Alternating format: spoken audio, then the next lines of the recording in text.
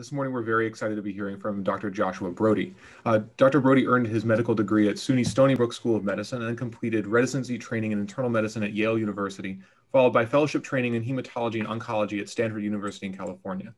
He joined the faculty at Mount Sinai in 2011 and currently serves as an assistant professor in the Division of Hematology and Oncology of the Department of Medicine.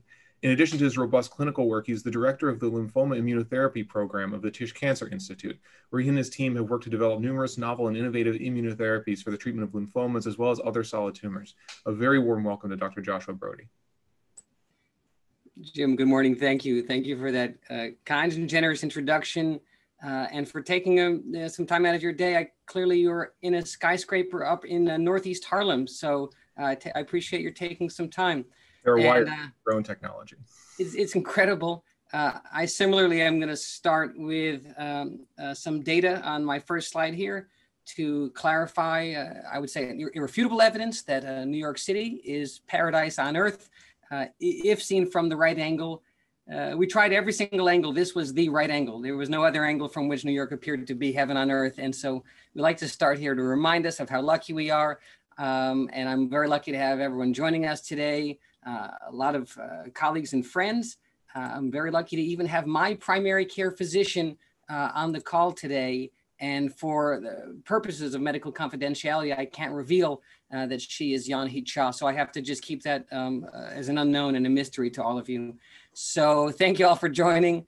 Uh, I'm going to talk about lymphoma immunotherapy. I'm going to talk about cancer immunotherapy. I'm going to make it extremely relatable and explain why this is important for all of our patients with lymphoma, all of our patients with cancer, and really for like for all of us because cancer impacts all of our lives, uh, as you're all well aware. Um, so I tried to answer some of these important and critical questions, um, and they were being reviewed by some millennial members of my lab. So I tried to answer them in millennial. Why lymphoma, why lymphoma immunotherapy? Uh, because it's the best disease in which to study cancer immunotherapy. I'll explain why that's the case really it's because we get some things working and it's only when you have some, some things working can you then uh, expand uh, those learned lessons to other disease types and lymphoma immunotherapy we have a lot of things working so now we have the chance to expand those things to every other kind of cancer why cancer immunotherapy this one is from the voice of a millennial, of a millennial.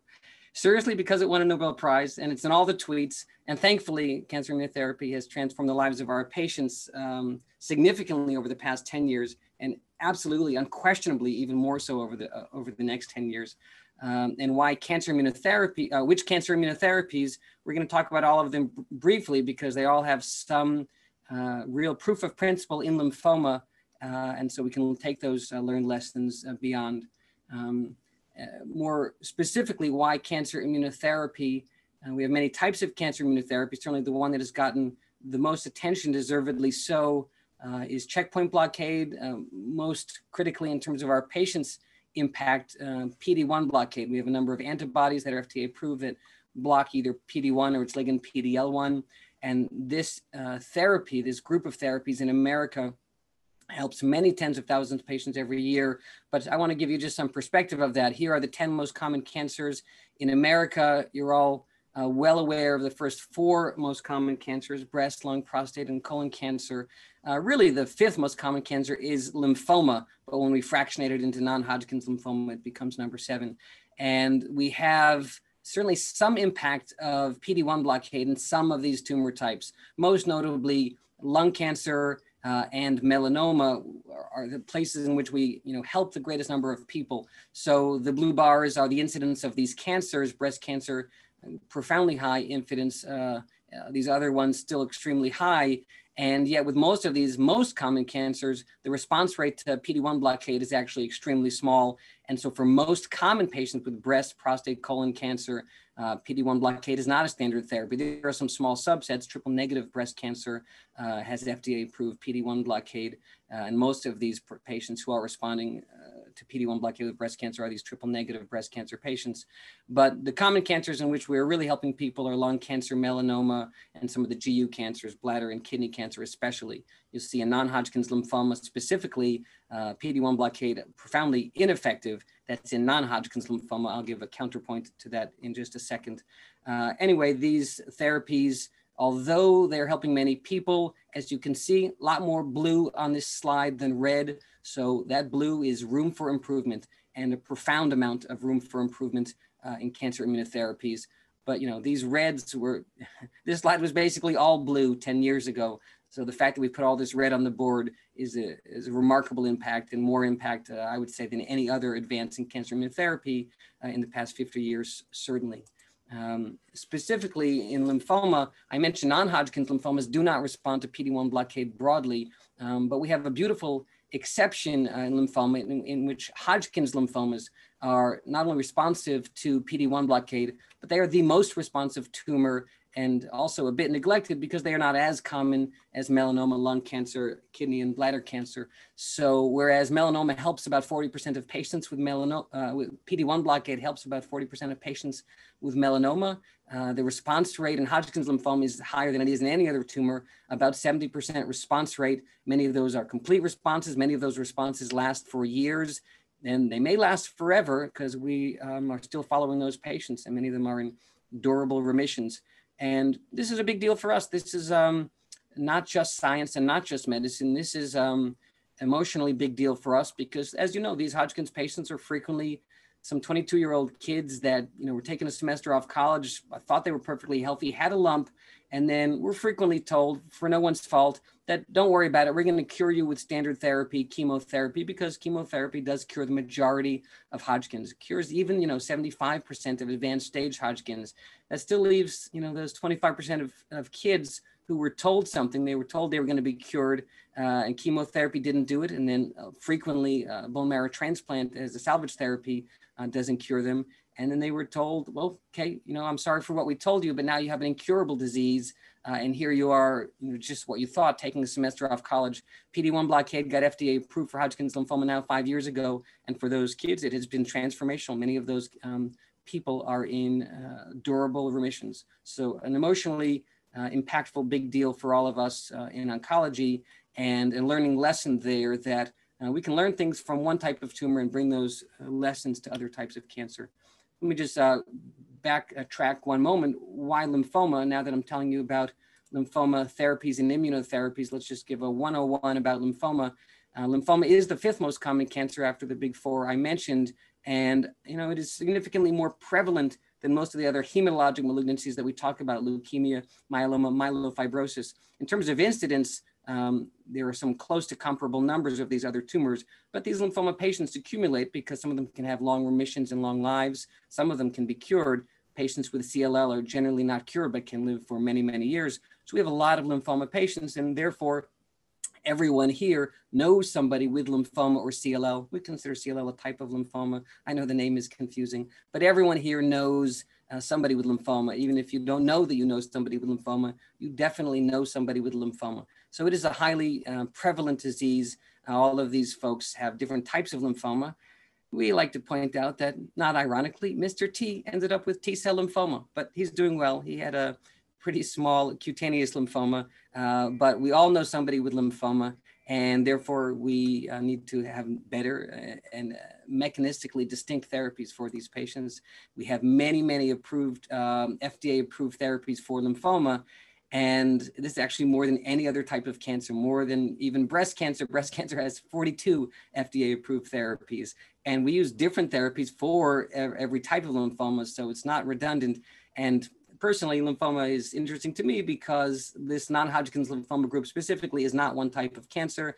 There are 74 types of non Hodgkin's lymphomas. So we have to actually get the right therapies for the right patients uh, with the right lymphoma types. So back to lymphoma immunotherapy. As I say, we're very lucky uh, to have success stories, not enough, but still success stories, proof of principle uh, for almost every type of immunotherapy. And we can bring these lessons to other tumor types. So one of the recent success stories, as everyone I think is familiar with, are things called CAR T cells, CAR meaning chimeric antigen receptor, chimeric antigen receptor meaning it's a chimera, partly a B cell receptor, we also call it immunoglobulin or an antibody, and partly a T cell receptor, really the signaling part of a T cell receptor. So we put this CAR into a T cell, and we call it a CAR T cell. I won't go through CAR 101. The punchline of it is we have patients these are PET scans of a couple different patients with aggressive diffuse large cell lymphoma uh, who were completely refractory to all standard therapies, chemo, stem cell transplants, etc. Uh, and after CAR T cell therapy, they'd had these profound remissions that were lasting for months and years.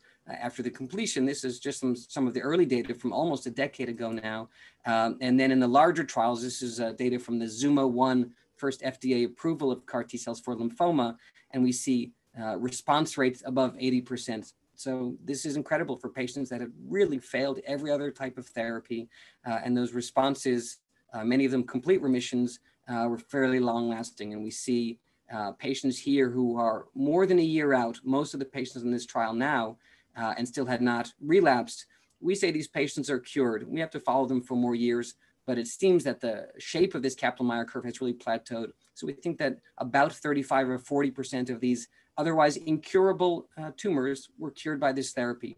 So this comes up every day for us uh, in lymphoma clinic because many of our lymphomas are called incurable. Uh, when my grandpa's sister was diagnosed with Hodgkin's lymphoma in 1948, they, they, called it incurable. And now, of course, we call it mostly curable. We called third line DLBCL, diffuse large cell lymphoma, incurable uh, in 2015. And now we don't call it that anymore. So this is um, miraculous and I will say transformational uh, advances.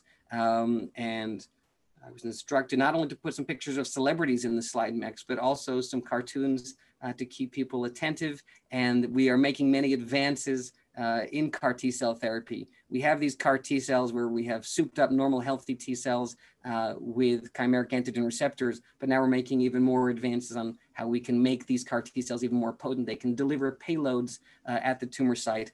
Uh, and I won't go more into that today. That's all uh, happening now in the clinic, but still a little ways from prime time. So uh, we have another version of a similar concept of how we can bring patients' T cells over to their own tumor types and then activate those T cells to kill the tumor.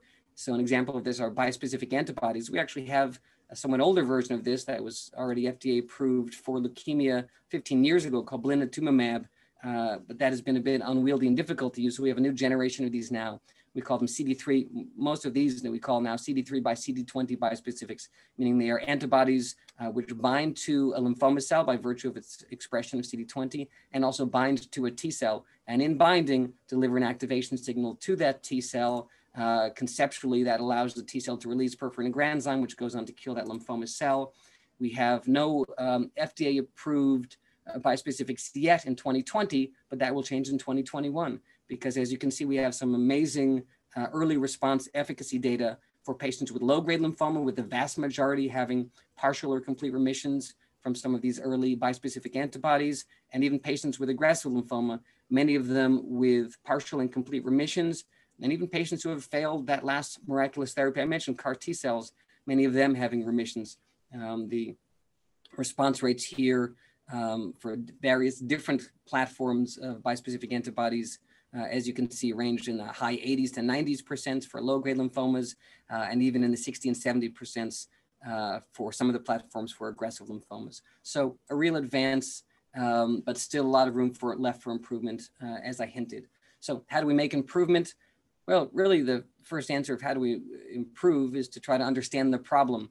And this is not about lymphoma immunotherapy. This is relevant for all cancer immunotherapies that really the way that if we're going to ask uh, most, uh, if we're going to ask our own T cells, our own CD8 T cells specifically, to see a tumor associated antigen and kill that tumor, mostly the way that they're going to see that antigen is presented by MHC1 from the tumor cell itself. And that cannot activate these T cells. This is immunology 101, that signal one, just the provision uh, of the MHC and the cognate antigen to a T cell receptor provides one signal, we call it signal one, and signal one is not enough to activate T cells. Um, and, and that immunology 101 really is happening in our patients every day. They have tumors. Those tumors are expressing antigens, many of them. The T cells are seeing them and they are not getting activated because signal one is not enough to activate a T cell. We need a consensus. We'll talk about signal one and two and three. Um, and this is a bit evident um, in some of the largest data from looking at patients treated with PD-1 blockade. So this is multiple tumor types of patients treated with PD-1 blockade. And we see some of those patients have great responses. These are patients with head and neck cancers and a few other tumor types. Some of these patients had com complete remissions that were ongoing for months and years. And the observation here from this great study from Dr. Ayers and his group uh, is that those patients tend to have tumors which we say were inflamed. What does it mean inflamed? It means they looked at the whole transcriptome of those tumors and the patients with the responses tend to have more transcripts for inflammatory molecules like interferon gamma. So we call this an inflamed signature on this x-axis uh, here. Uh, and then you see certainly there's a correlation with the inflamed signature and good response. Sometimes the inflamed signature, we just call those hot tumors, hot tumors versus cold tumors. And hot tumors tend to respond better to PD-1 blockade. Uh, but here's the problem. Hot is not enough. This inflamed signature is not the cause of what makes this T cell kill this tumor cell. It is an epiphenomena. In fact, that's quite obvious even when you look at this data. You see that the only patients with hot tumors do respond to PD-1 blockade. However, still the majority of these patients with hot tumors still don't respond. There's more black dots down here than there are red boxes up here. So hot is not enough. So what is enough? Again, it's back to trying to understand the problem. The problem is that we need to provide good activating signals to these T cells. What does that mean? That generally means that these T cells need to be activated not by a tumor presenting antigen, but by a professional antigen presenting cell. Professional, and, and, and this has been shown in many uh, high impact papers.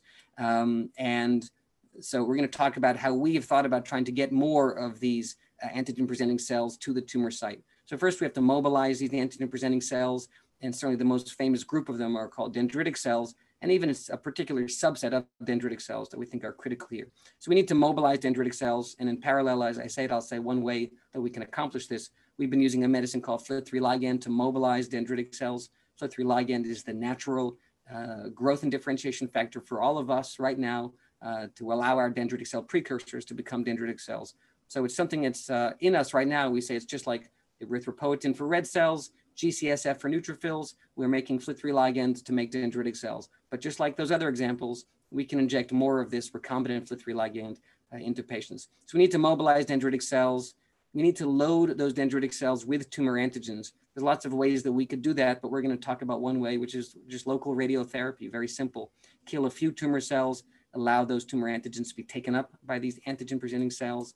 And then we need to activate those antigen presenting cells. Lots of ways to do this uh, but one way that won the Nobel Prize in 2011 is the use of toll-like receptor agonists. Toll-like receptors are powerful activating switches on many cell types, but especially on dendritic cells. So once we have these APCs, they can provide signal one, as we talked about, but they can also provide signal two. These are things like B7, CD80, CD86, things that hit CD28 on a T cell to provide that signal two. And signal three, we described as the many different cytokines um, that dendritic cells can release, uh, things like interleukin 12. So if we get this concordant signal one, two, three to activate T cells, they will really get activated. They will proliferate and can go and induce systemic anti-tumor effects. And we make some distinction that the type of priming of these T cells is called direct priming versus cross priming or cross presentation of the antigen uh, by the by the dendritic cell. So the point there is that cross presentation is critical if we want tumor antigens to get presented to T cells. And the only way to get cross presentation is through this bizarre and magical process. Let me just describe it to you very quickly. I will only do this brief description of, again, immunology 101. If we're going to have an antigen that comes from outside an antigen presenting cell, like a tumor antigen, it has to get taken up. And the normal pathway for the exogenous antigens is for them to get taken up uh, into endoplasmic reticulum and then expressed onto uh, MHC class two, which can get presented to, those antigens can get presented to CD4 T cells. That's great, but CD4 T cells we think are generally not enough for good anti-tumor effects. If we want to get these exogenous antigens presented on MHC class one, they have to do this bizarre magical thing, which is cross an oil and water barrier. They have to get out of this uh, vesicle. This could be an endosome or even an endolysosome now. They have to get into the cytosol, uh, taken in through the proteasome uh, into the ER, loaded onto class one, and then presented on the surface of class one uh, to CD8 T cells. We call this a magical process because we don't really understand how all of these antigens that were exogenous can get from this topological space into the cytosolic topological space. Although we don't understand it perfectly, we know something about it, which is that it can only be accomplished by a rare subset of cells uh, and the best at accomplishing are not even all dendritic cells, but this subset called BATF3 dendritic cells. And the reason we believe that is over the past 12 years, we've had a series of papers in these incredibly high impact journals over and over again showing that when we get rid of BATF3 dendritic cells, all the efficacy of every type of cancer immunotherapy is lost. And we've seen this over and over again. When we get rid of BATF3 dendritic cells, um, uh, adoptive T cells, uh, checkpoint blockade, vaccines all become ineffective. And the concept there is that, you know, we have these T cells that we, you know, we've been asked to do the job of how to kill cancer. And one way we've, we've helped them to do that is to give them PD-1 blockade so they won't be as exhausted anymore. And we've tried adding all of these other um, stimuli, really, these other ways of releasing their brakes uh, to wake up these exhausted T cells and allow them to do their job, go and target tumor antigens. But the real problem is most of them don't know their job. They're exhausted and aren't specifically trained to kill cancer in the first place. So what we need to do, instead of emphasizing on just preventing their exhaustion, is to give them those orders, those correct orders in the first place. And the general of this immune army is the dendritic cell. He can cross-present those tumor antigens uh, to T cells in the first place um, and tell them what to do, what to go after. And because of this uh, power of the dendritic cell, he was, as I said, acknowledged in the 2011 Nobel Prize, uh, which was awarded to, to Ralph Steinman for the discovery of dendritic cells and their description, as well as to Drs. Beutler and Hoffmann, uh, who described toll-like receptors, as I said, important, important activating switches for dendritic cells. Um, and, you know, while these guys were pivotal uh, in the description uh, here, you know, they still didn't get to fully realize the dream of using these cells and their activating switches um, for effective cancer immunotherapy. So we're trying to help towards that. And this is how important we think dendritic cells are in telling T cells what to do, um, that they really send uh, a sublime signal uh, to T cells uh, to activate them. And we're trying to exploit that exact concept. And as I said over the last couple slides, if not enough dendritic cells is the cause of ineffective cancer immunotherapy. Let's just be real simple and get more dendritic cells to the tumor. So I hinted already that we're using this recipe to accomplish that, using FLT3 to mobilize dendritic cells to the tumor, using low dose radiotherapy to release some tumor antigens to load those dendritic cells, and a toll-like receptor agonist, poly-IC is a TLR3 agonist to activate those dendritic cells. Mobilize DC, load DC, activate DC. And at the end of that, you have a dendritic cell that's activated with a tumor antigen. That is the vaccine. This is not a preventative vaccine. This is a therapeutic vaccine. But that vaccine is not made in a lab or a factory. That vaccine is made at the site of a tumor. So we call this uh, in situ vaccination.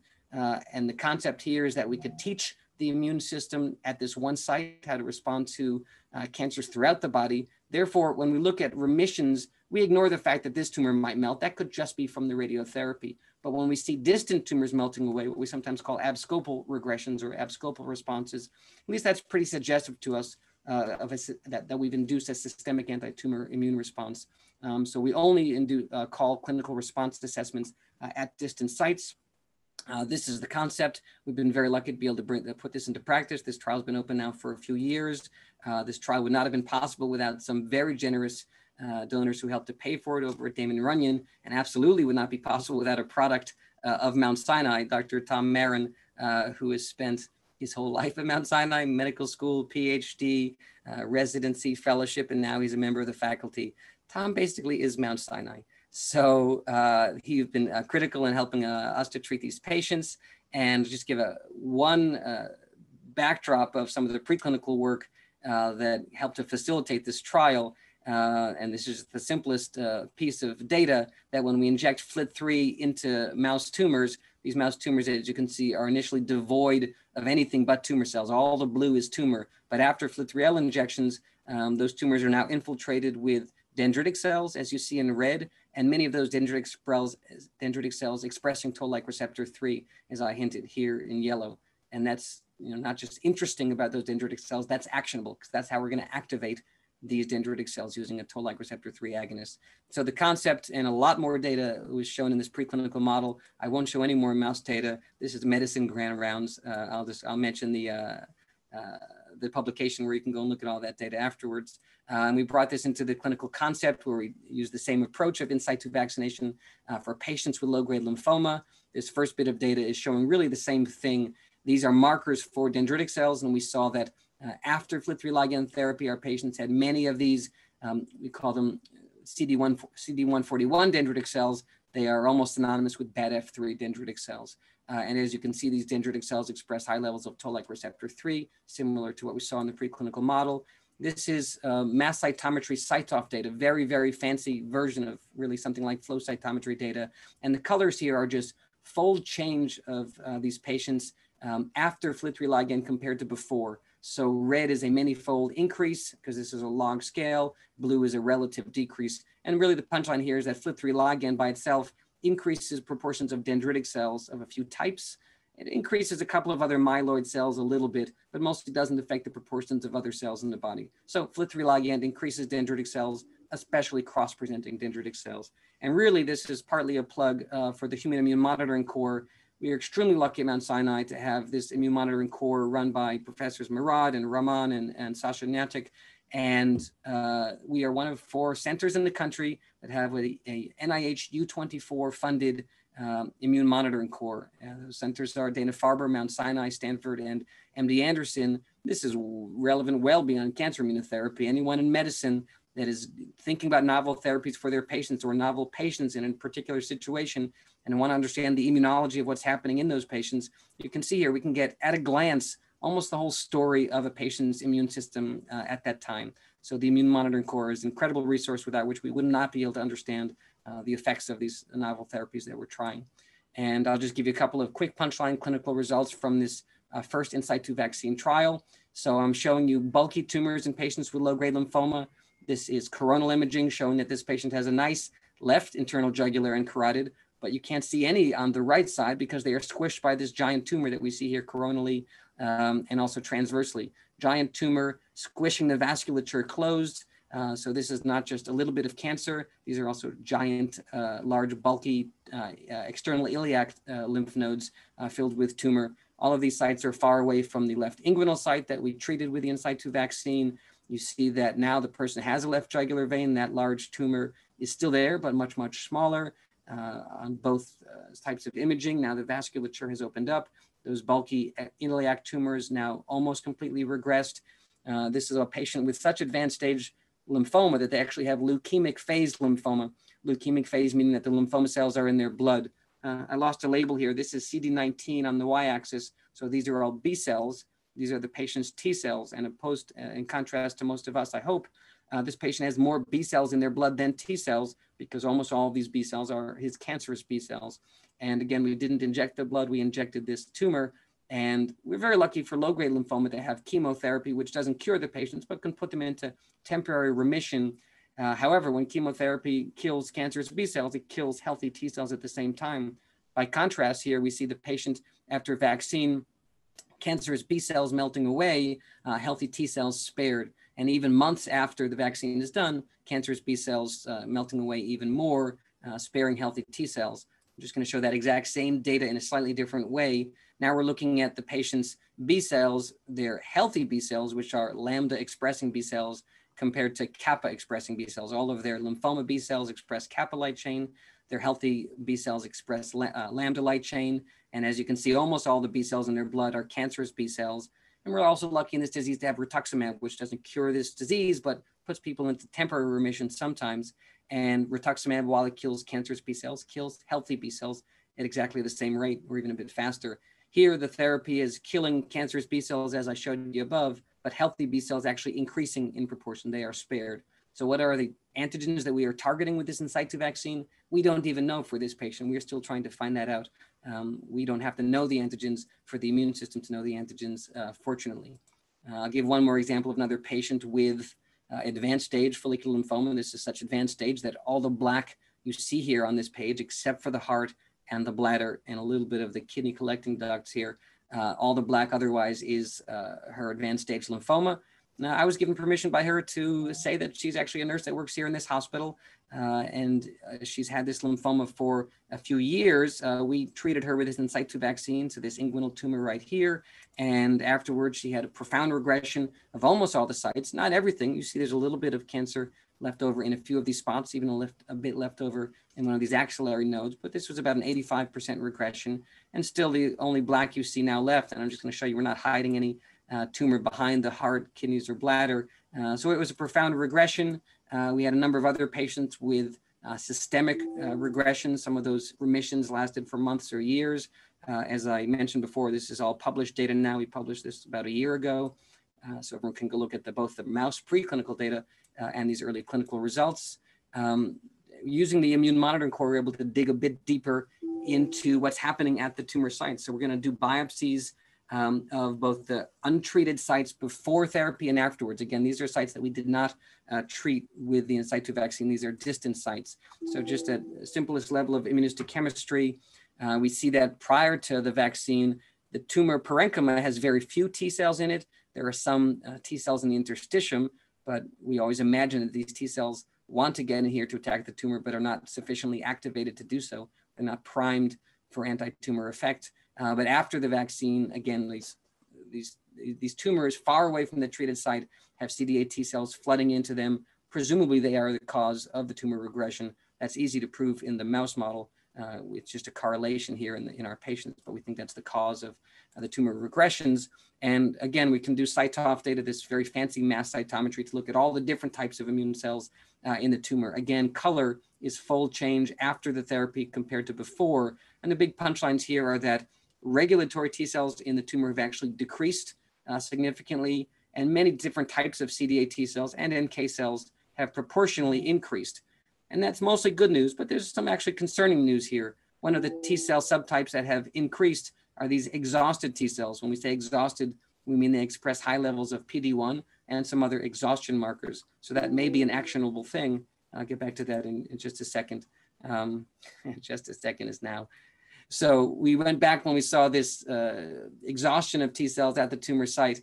Uh, we went back to the animal model one more time uh, to see if we could actually actionably um, in, improve this therapy uh, by preventing the exhaustion of those T cells. So in addition to the PD-1 expressed by the T cells you saw in the prior slide, going back to the mouse model, we can see that the tumor cells themselves start to express PD-L1. So all of the yellow orange you see here are tumor cells expressing PD-L1 after the in situ vaccine, not before. And the red are myeloid cells expressing PD-L1. So both the tumor cells and some of the infiltrating myeloid cells are preventing T cells uh, from their optimal effect here. And so we did what was really at this point the obvious thing, which is we added PD-1 blockade to the vaccine, where the vaccine itself was curing a little bit less than half of these uh, mice adding anti-PD-1, now the vaccine is curing about, the vaccine plus anti-PD-1 is curing about 85% uh, of these mice. So uh, a significant difference and sufficiently inspirational to us to go from that first trial I mentioned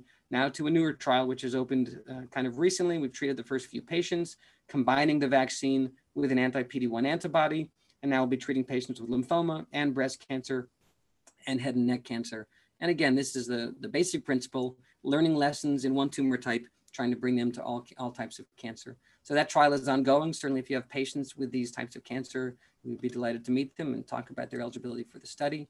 Um, I'll just give a couple of quick examples of how ways in which we're trying to improve uh, this anti-cancer vaccine, this therapeutic in situ vaccine. Um, specifically, you saw that we mobilized dendritic cells, we loaded them with antigen, and then we activated them uh, with uh, this we call synthetic toll-like receptor toll-like receptor agonist. Poly-IC is just a little stretch of RNA that looks like viral RNA, and it activates these immune cells. But you know that's not how the immune system evolved to respond to this synthetic molecule poly-IC. The immune system evolved to respond to pathogens. So we had an idea you know, this guy, William Coley, back 120 years ago, was literally putting pathogens into people's tumors. We didn't think the IRB would be really up for that at this point, uh, and, and rightfully so. But we have a whole bunch of pathogens sitting downstairs in the pharmacy. They are either attenuated or killed. These are all the prophylactic pathogen vaccines that we use every day. Uh, and these things are full of toll-like receptor agonists. They're full of viral RNA, viral DNA, bacterial uh, cell membrane components. So we just took all 20 of them and expose them to these mobilized dendritic cells. And here we have some more uh, high dimensional um, single cell immune cell monitoring data showing that basically the punchline here is that most of the dendritic cells are on this side, what we call here a Visney plot. Dendritic cells are here, other cell types here, and these dendritic cells are getting very activated. You can see them turning red by either BCG, one of the oldest pathogen vaccines that we have, and also by uh, Haemophilus influenza vaccine, PEDVAX, uh, these dendritic cells are getting highly activated by these standard, we call them um, natural PRR agonists as opposed to synthetic PRR agonists. So we have this panel of natural PRR agonists. We want to see if they could be better than the synthetic ones we've been using in the clinic already. This would be great because, uh, to be fair, there's an uh, intertwining of medicine and capitalism, and every company that we have to get these not approved medicines from, they have their own agenda. That's fine. Mostly their agenda is to help us to help people. But these naturally, these natural PR agonists are almost almost freely available. These vaccines mostly cost uh, $20 per vial. Some of them cost $200 per vial. And we don't have to go to any company to get access to these. You know, to be fair, uh, the huge advances uh, in medicine and immunotherapy have helped many people, but they haven't helped everybody equally. We have many underserved people that we would like to develop these therapies, but still develop them uh, in a feasible way that we can get everybody access to them. So one of the concepts here is about you know using what the immune system is more naturally responsive to, natural PRR agonists, and and also there's a concept of making these things feasible and available. So we saw that these 20 vaccines, some of them could be highly potent in activating uh, dendritic cells. Um, we did some extremely fancy math only a fraction of which I understand, but we looked at every, every single metric of activation from all of these different vaccines. And we observed that different vaccines activate dendritic cells in different ways. We did something called principal component analysis to try to understand the sum of all of those ways in which these different vaccines activate dendritic cells. Although PEDVAX and BCG both activate dendritic cells, they activate them in very different ways. So we made what we thought was rational combinations uh, of triplets of these natural PRR agonists. And you can see going back to the animal model, this uh, triplet of what we think is a, a rational uh, combination of three different NAPR agonists, natural PR agonists, uh, was pretty good uh, at curing mice of this um, bulk of these bulky tumors in the context of the in situ vaccine. So this is one, one way that we're trying to improve the vaccine.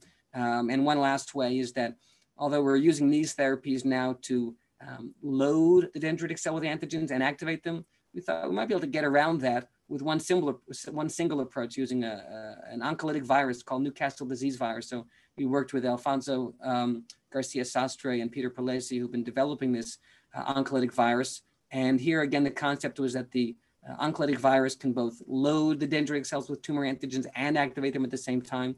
I'll skip some of this data, but we saw, saw the same thing happening in the dendritic cells both of our FLT3 uh, ligand treated mice and dendritic cells from our FLT3 ligand treated patients. Um, and we were able to discover a very cool thing here. I said in one of those patients that ultimately we don't know which antigens we are training the immune system to go after. But here we were able to do something called neoepitope discovery.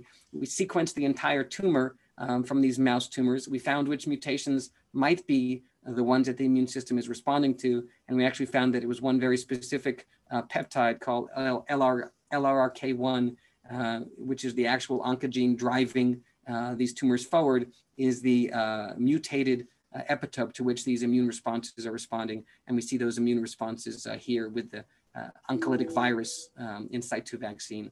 And again, we see with that same approach, we are now curing with the in situ virus, in situ vaccine using the oncolytic virus, both flooding into those tumors of T cells here in violet and curing of the majority of those mice. So a couple of ways that we're trying to improve the in situ vaccine uh, in the lab. Just going back to that same patient I showed you a moment ago. I showed you that we were bringing T cells into that patient's tumor. I'll show you something else about that tumor that we see when we do this deeper immune monitoring with the immune monitoring core, uh, which is that even while these tumors are regressing, uh, we see the proportion of cancer cells in those tumors are regressing. They are physically regressing, and the proportion of tumor cells therein is proportionally going down, um, again, by this CyTOF data. However, the proportion of healthy B cells is uh, relatively increasing. This is similar to what I showed you in that leukemic phase lymphoma patient, where the healthy B cells are spared and the cancerous B cells are being eliminated. That's all good news. There's some bad news here on the same uh, piece of data, which is that there's a subset of cancer cells which are proportionally increasing and they have lost MHC class one, the HLA molecules that present tumor antigens.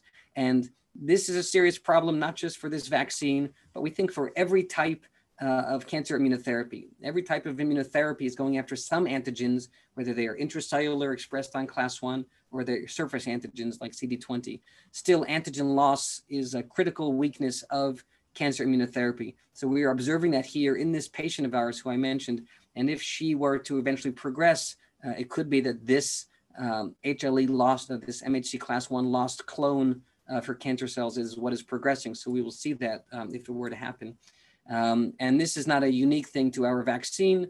Uh, this MHC loss is one of the most famous causes of antigen escape and progression in all types of uh, cancer immunotherapy, such as PD-1 blockade. So Dr. Zaretsky's group published this in New England Journal four years ago already. Patients receiving, these are melanoma patients receiving um, anti-PD-1 antibodies, having good clinical responses, but as they relapse, you see that MHC1 is completely lost. They cannot present uh, their own tumor antigens to T cells that would be attacking them. And so this is a big problem. I'm just going to do the last uh, 10 minutes uh, of the talk about a way that we're trying to address this problem of antigen escape. And, and the problem here is that once these cells have lost these antigens, you know, how can you still use immunotherapy to attack them? So it is very hard to think about how we can treat this antigen loss tumor. However, we, we don't want to treat it. What we'd actually really like to do is to prevent this antigen loss tumor. Because if you go back to these tumors before the therapy, you can see there are a couple of these antigen low cells, MHC1 low cells already there before. All we've done is enrich for them by giving uh, this T cell mediated therapy. So if we could somehow target these MHC, these antigen loss cells uh, even before they escape, we think that would be a better solution to the problem than trying to treat them afterwards.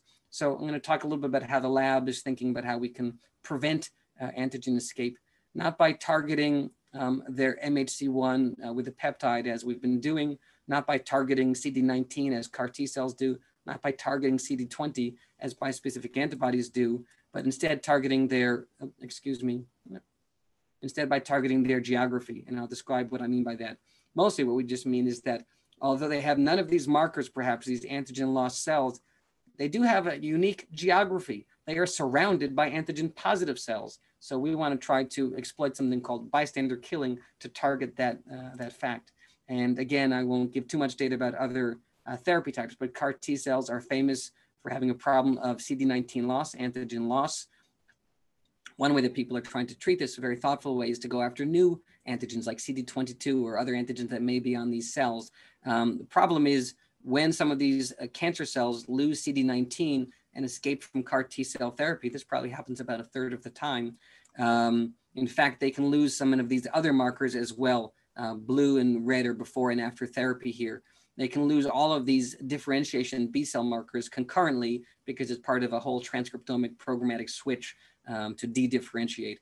So just treating these people after they relapse with an anti-CD22 CAR T cell might not be sufficient. They may have uh, escaped uh, sensitivity to all of those uh, antigen-based attacks. again, hence our interest in trying to uh, use geography to prevent these antigen escapes.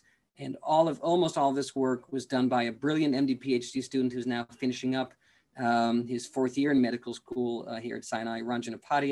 So I'll be showing a lot of his work. Uh, again, the concept here is that we have T cells that kill based on antigens loaded in MHC. We have CAR T cells that kill sometimes based on surface antigens like CD19. Um, and they're pretty good and they kill mostly using granzyme and perforin, uh, as I showed before, except we'll, except we'll always have some out of a billion or 10 billion cancer cells, we will always have at least one or two of them that do not have those antigens on their surface. So those antigen lost cells will progress and cause the eventual relapse we call antigen escape. What we'd like to think about is perhaps there's some magical receptor on some of these cancer cells. And I will just tell you that this magical receptor from Ranjan's discovery is going to be FAS, something that we've learned about before. But if there was a magical receptor that could still uh, allow these um, bystander cells, this is the on target cell, this is a bystander cell. If there was something that could facilitate bystander killing of this antigen loss cell, we could hopefully kill mostly with perforin and granzyme, but also send a death signal to these antigen loss cells and prevent antigen escape. So that's the concept that we can use geography, the proximity of the on-target cell to the bystander cell to allow them both to be killed. And I just have to say that Ranjan came upon this um, not through the consequence of an intended search. We were actually trying to ask a completely different question. Uh, the question we were asking was, how do T cells kill on target cells, not bystander cells? And we really serendipitously stumbled into this um, bystander killing result. So uh, Ranjan took a, a very cool reagent invented by uh, Brian Brown lab uh, next door to mine, uh, which is an anti-green T cell that we use in the mice. Uh, anti-green meaning it's against a green protein, GFP, that we can put into lymphoma cells. So we've put green into some lymphoma cells and just to have some bystander cells nearby, we put red into other lymphoma cells, and we let the anti-green T cells kill those green lymphoma cells. But before we did that, uh, Ranjan developed a library of 2,400 different CRISPRs to knock out different um, genes in both these green and red cells, which would possibly uh, prevent the T cells uh, from killing effectively or perhaps facilitate better killing. And so I won't go through uh, that algorithm of how we perform this uh, CRISPR library screen, I'll just go to the punchline here, that many genes that if you knock them out of the green tumor cells, the T cells can no longer kill them. The obvious one is beta 2M, which is MHC class 1. Without class 1, T cells cannot kill their target cell. So that was the positive control that spiked into this library. An interesting thing here was, I'll just give a couple of examples on the bottom side. These things would be things like PDL1. When you knock out a brake pedal that stops T cells from killing, when it's gone, now the T cells kill better. So the screen discovers things that facilitate T cell, uh, things that facilitate T cell killing, and things that prevent T cell killing, like PDL1, which is actually one of these dots over here. So something that was surprising to us, even though it made sense, was that FAST, FAST has been described for many decades now uh, to facilitate T cell killing of tumor cells. But what surprised us was how powerful it was because it's supposed to be a minor part of how T cells kill tumor cells. I'll show you how powerful it was. So this, instead of the whole library, is just a single example of one of those genes being knocked out fast. So the, the killing assay is quite simple. We have the green lymphoma cells, the red lymphoma cells. We add anti-GFP T cells, and this 50-50 mixture roughly goes down so that the green cells are getting killed. Um, and that's how it's supposed to work. However, when you knock fast out of these green cells, they seem to not get killed at all. Even though perforin and granzyme and all the other killing mechanisms are still here, without fast, it seems like these T cells are completely unable to kill these tumor cells. That's how it appeared to us. Uh, and just to clarify, the T, so this is looking at the lymphoma cells in these killing assays. I'll just show you a picture of the T cells. This is more flow cytometry data showing that T, these T cells are going to proliferate and degranulate and spit out granzyme, whether they're killing the normal green cancer cells or if they're killing fast lost green cancer cells. The T cells are still doing their job. They are spitting out granzyme, and yet these green lymphoma cells without fast appear to be completely resistant to getting killed. And this is the thing that then prompted us to do a next experiment, which caused us to stumble in this, this, this discovery of bystander cell killing. The fact that these T cells are actually killing both the on target cell and the bystander cell. So, this next experiment, we just made all versions um, of those cells I mentioned green lymphoma cells versus red, and cells that all of which either had FAS or were CRISPR deleted for FAS. So we have all four versions of the cells here. Now we're just going to look in each of them at the deathiness, cleave, cleavage of caspases and early onset um, death uh, marker. And as we add the anti-green T cells, we see the green lymphoma cells starting to die, but only if they have FAS. Without FAS, they don't die at all. And we actually see the red cells, the bystander cells, also starting to get killed this didn't make sense to us. They're not they're not supposed to get killed. They're supposed to supposed to be quiet bystanders, but they're getting killed as well, and they're only getting killed if fast is present uh, in the populations in which fast is present. So this is a test tube. It really doesn't matter because you know T cell killing in a test tube doesn't tell you what's happening uh, in a real living thing. So we went to a real living thing. We gave these mice 50-50 tumors, half targetable by anti-green T cells, half of them bystander cells and what we saw, and then we did both versions where the bystander cells either were wild type or had lost, uh, we CRISPRed out uh, the fast gene from the bystander cells. And what we saw, you can look at these red cells. These are bystander cells. These should not get killed um, by an anti-green T cell. And actually, if you have the red tumors by themselves, they don't get touched at all by these uh, anti-green T cells. But if there's a green target cell right next door to these red cells, these red cells, the white here, is their expression of this caspase uh, activation, meaning that they are getting killed. So these bystander cells are getting killed in a tumor. Um, and in fact, if the bystander cells don't have FAS uh, in a parallel uh, mouse, those by all the caspase cells you see here are not bystander cells. They're all the green cells. So if you have FAS in a bystander cell, it can get killed. Um, this is true microscopically. This is true macroscopically. The same experiment with the mixed tumors where the bystander cell doesn't have FAS. We give anti-GFP T cells to these mixed tumors. Tumors grow for a bit while the T cells are dividing, and then these tumors start to shrink. This 50-50 tumor, half and half, doesn't shrink by 50%. It shrinks by much more than 50%. It seems to us like these bystander cells are getting killed.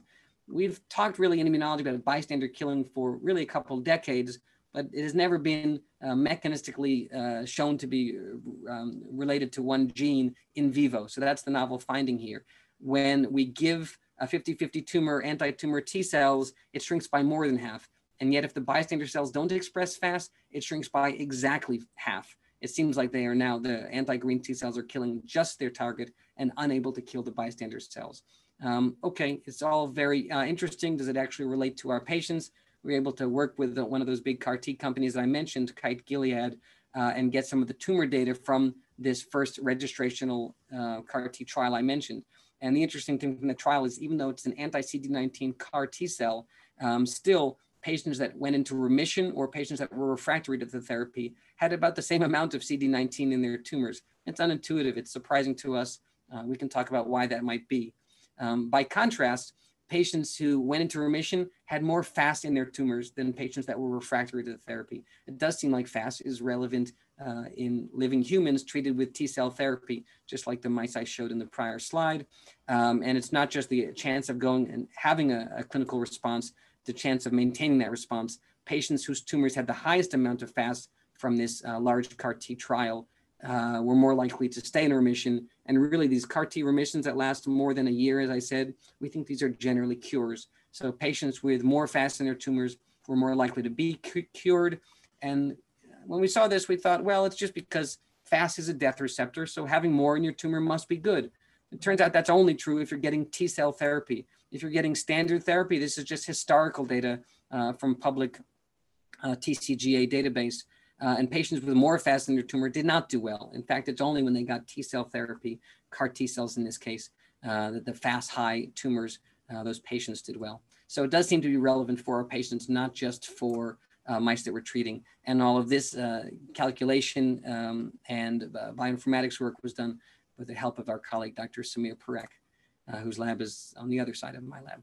And I want to show you one more thing about this data that I showed you that we're inducing on target uh, tumor killing and bystander tumor killing. And, it, and that the fact that it is exquisitely fast dependent this is a bit academic. It's just an observation. The reason it's exciting to us is that we know a lot about how fast signals. So if we could just make fast signal better, we could get even more of this bystander killing. We think this is probably already happening to some degree, but if we want to prevent antigen escape, we'd like to potentiate bystander killing. And because many people have worked hard to understand how fast works, perhaps we can do that. Many of these regulators of fast signaling are already things that we have either FDA approved small molecule inhibitors or many things that are in clinical trials for our patients. So we tried to improve, potentiate fast signaling to see if it will increase bystander uh, tumor cell killing. And we have a number of examples of that. And we published all, I'm sorry, we will be publishing all of these in about um, two weeks, I think. Uh, this paper was accepted recently. And I'll just show you one example. When we use this HDAC inhibitor, something called panobinostat, we pour panobinostat on all of these tumor cells, cells that are green, tumors that are red, they do have FAS or they don't have FAS. HDAC inhibitor, panobinostat, does not increase the deathiness of any of those tumor cells. However, when we add HDAC inhibitor plus the anti-tumor T cells, um, we see that now we have much better on-target killing, FAS mediated, and much more bystander killing. And again, it's only happening in the cells that have FAS, uh, completely lost in cells that don't have FAS. Um, Jim, I've got maybe four or five minutes left. I'm going to say one other project we're doing in the lab, um, and then we'll have, I still think, three and a half minutes for questions. Good? Thumbs up. Um, so all of this stuff is very far along, uh, and I'm really showing years of work of the folks in the lab and in our clinical research group, uh, for which we're very lucky. I want to say that these things are not simple and they start much earlier than that. So I'll show one other project that Ranjan was also working on uh, that's made amazing progress, but still has a little bit ways to go. So this is another one of those uh, same anti-green T cell uh, killing assays. We put green lymphoma and red lymphoma, and we call this one vanilla lymphoma. We didn't put any color in it. And as we add anti-green T cells, although these mixtures are a third, a third, a third in the beginning, every day into the assay, you see these green cells getting killed. So that is green cancer getting killed by anti-green T cells, um, as it should.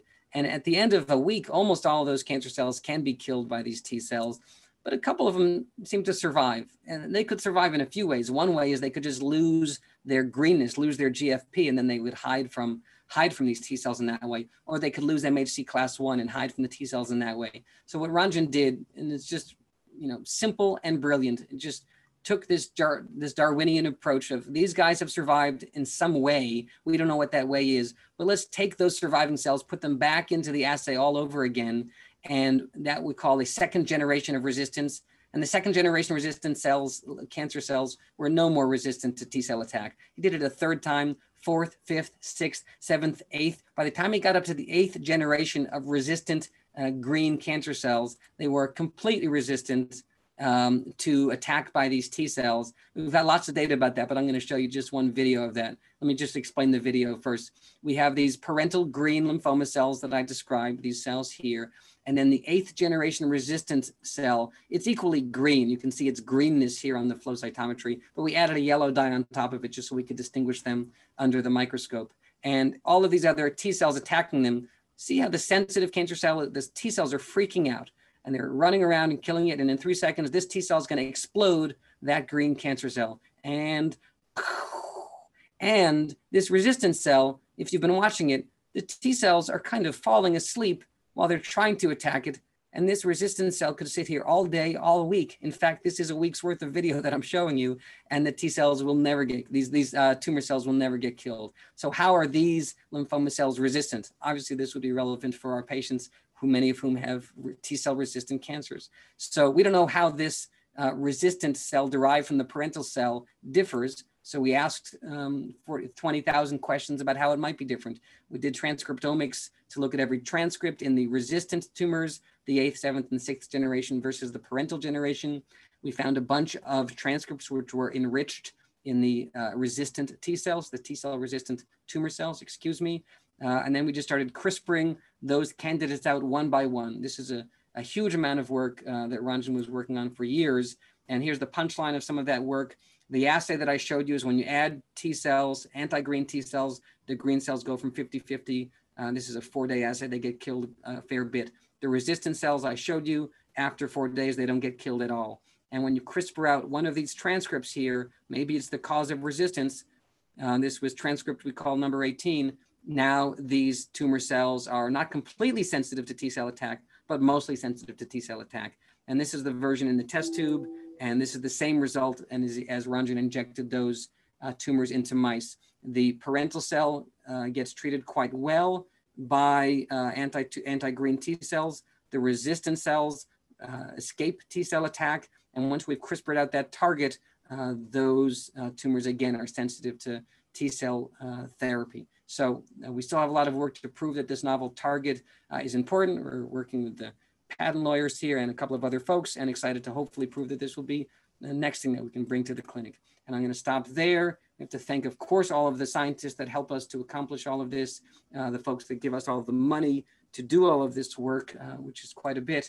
Um, all the patients on these studies that I showed you, uh, the folks in the lab, and the folks in our clinical research team that allow us to do these trials. Thank you so much, everyone. Thank you, Josh. there, uh, we're close to the end, but there's some questions in the chat if you can see them. Let me try to read those quickly. So, first question. If you do not discuss CAR NK by the end, please do so. Include off-the-shelf efficacy cost as compared to CAR T. Beautiful new. Um, I you know it's as though Milagros was the asker, but um, in, in, case it wasn't, I'll just say it for everyone. So uh, CAR NK, beautiful publication, New England Journal of Medicine um, uh, about three months ago from the uh, brilliant team down at MD Anderson uh, and Baylor works on this as well. Um, the concept is that maybe we don't need a T cell um, because a T cell, if you used it in a uh, allogeneic way, used an off-the-shelf uh, CAR T cell, an allogeneic CAR T cell that you don't have to make for each patient, um, that an NK cell might be better because it wouldn't cause graft versus host disease if we use an allogeneic natural killer cell instead of a T cell. I'll give you my honest opinion. The concept of an allogeneic NK cell, CAR NK cell, or allogeneic CAR T cell, um, elegant. Um, it is the future, but that future is nowhere near where we are now. The New England Journal of Medicine publication was wonderful, but um, was not quite as impressive in the clinical responses um, as the abstract would convey. Um, all those patients were getting, most of those patients were getting other therapies as well. Um, allogeneic CAR T and CAR NK therapies are the future but they are not the two, three, four, or five year future. We have a lot of improvements we have to do in preventing graft versus host with that product and also preventing mostly elimination of that product um, we call graft rejection. So a lot of work still to go. Um, how would you continue to combine with the available PD-1 blockers? Uh, Richard Meyer. if we're talking about the vaccine, really the answer is yeah, we're trying the vaccine now in combination with pembrolizumab, anti-PD-1 antibody. Uh, treated a few patients with lymphoma, breast and head and neck cancer. And we're going to try to open that trial up. It's open here. We're going to try to open it up at Dana-Farber in the next few months. So hopefully we can do these trials more quickly because uh, getting the trials done is the most important thing in answering the question. From Milagros, to kill bystander cells, could one conjugate radioisotopes to an antibody? Absolutely. We have radioisotope conjugated antibodies. Um, the problem there really is um, the geographic limitation. It's hard to get radioisotopes to irradiate and kill just the cancer cell next door and not kill the cell uh, five away and the cell 20 away. So for example, we have two FDA approved radioisotope conjugated antibodies for lymphoma, but we cannot use them if someone has any significant amount of lymphoma in their bone marrow because the radioisotope would kill the lymphoma cell, kill the cell next door, and kill most of the marrow. So there's a real spatial limitation to using radioisotopes, although that's such an elegant idea. If you could make the alpha or beta emitter gamma emitter only go exactly one cell away, ah, that would be super elegant. So Milagros, uh, brilliant question, uh, limited a little bit in what we can do right now, I would say. Great.